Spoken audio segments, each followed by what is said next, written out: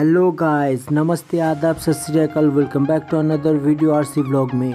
दोस्तों, इस वीडियो में बताऊँगा बजाज पल्सर 125 सीसी बाइक के बारे में।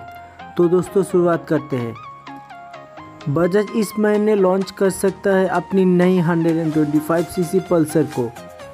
बजाज ऑटो इन दिनों अपने पल्सर की एंट्री लेवल मॉडल पर काम कर रहा है।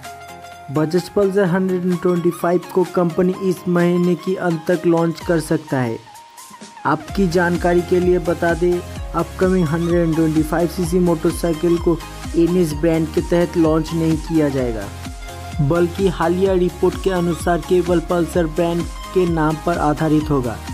पल्सर परिवार में पल्सर 125 सबसे सस्ता और फ्यूल एफिशिएंसी मॉडल होगा। और बजाज को इस बाइक के चलते अपनी बिक्री संख्या बढ़ाने में मदद करेगा।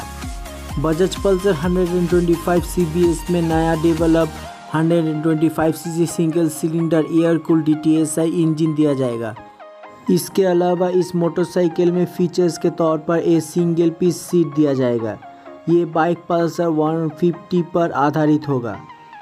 द पल्सर 125 सीबीएस में halogen headlamp with LED DRLs at the front semi digital instrument cluster and a muscular fuel tank दिया जाएगा।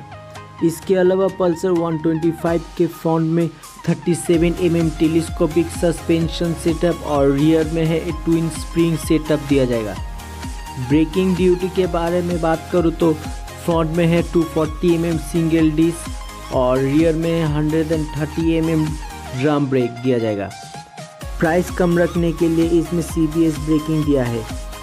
बजाज अपने 125 सीसी पल्सर बाइक का कीमत 58,000 से लेकर 62,000 रुपीस एक शोरूम रखी जा सकती है और इसे डिस्कवर 125 के ऊपर पोजीशन किया जाएगा। तो दोस्तों आपको ये वीडियो कैसा लगा कमेंट में मेरे साथ ज़रूर शेयर कीजिए। अगर आपको ये वीडियो अच्छा लगा तो लाइक कीजिए दोस्तों को शेयर कीजिए अच्छा नहीं लगा तो डिसलाइक कीजिए।